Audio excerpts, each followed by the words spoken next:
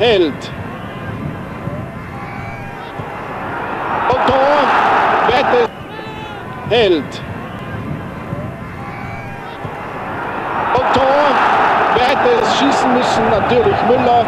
Gerd Müller auf 1 zu 1. Das war ein Ausrutscher von äh, Sturmberger. Kann man nichts machen. 1 zu 1. Stastny keineswegs böse über diesen Treffer.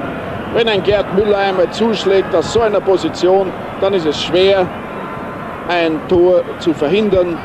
Nach 16,5 Minuten steht es also 1 zu 1.